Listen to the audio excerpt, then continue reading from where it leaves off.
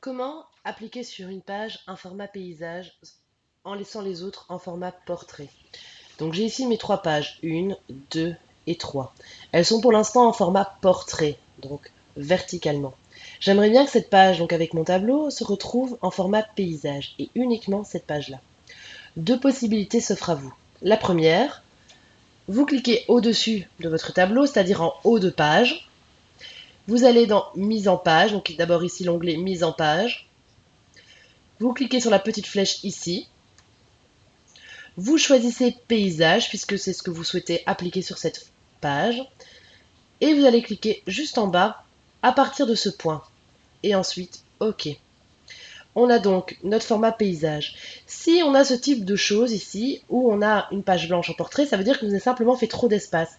Vous cliquez sur la touche Delete de votre ordinateur ou Supprimer pour faire remonter votre tableau. Vous avez vu, ma page a disparu. Donc j'ai bien ma première page en portrait, ma seconde en paysage, et vous avez bien sûr les pages suivantes de votre dossier qui sont parties également en paysage. Vous faites la même manipulation que ce qu'on a fait juste précédemment. Vous mettez en haut de votre document, vous recommencez. Mise en page, portrait, à partir de ce point. On a donc notre page en portrait, la seconde en paysage, celle que je souhaitais avec le tableau, et la troisième en portrait. Donc ça, c'est une première manipulation. Si ça ne fonctionne pas pour vous, autre possibilité, faire via les sauts de page. Comment ça fonctionne? J'ai ici mon tableau qui est sur ma seconde page. Je viens le remonter sur la première page. Ça, c'est une étape très importante. Donc je le remonte. Je viens faire mon saut de page. Mise en page, saut de page.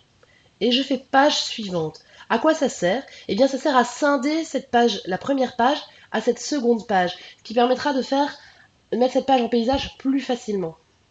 Je viens donc, comme tout à l'heure, changer mon orientation. Là, je clique directement sur mise en page, orientation. Donc, je suis bien dans ma page ici numéro 2, on voit mon petit curseur. Et je choisis paysage. J'ai bien cette page qui est en paysage. Si les autres pages, celle-ci, donc la troisième page, est également en paysage, vous faites la même manipulation que ce que vous avez fait ici. C'est-à-dire, je remonte mon texte, Voilà. Je remonte mon texte et je viens faire un saut de page. Saut de page, page suivante. J'ai donc cette deuxième page qui est en paysage aussi, c'est pas grave, je peux la changer puisque j'ai fait un saut de page, j'ai bien scindé la première page ici, en paysage, de la seconde page. Je recommence et je viens la mettre en portrait. J'ai bien ma première page en portrait, ma deuxième page en paysage et la troisième en portrait. Donc concrètement, Possibilité de faire directement avec ici mise en page, choisir paysage et cliquer sur à partir de ce point, on le fait une première fois pour mettre en paysage et une seconde fois pour remettre celle-ci en portrait. Deuxième possibilité, faire les sauts de page.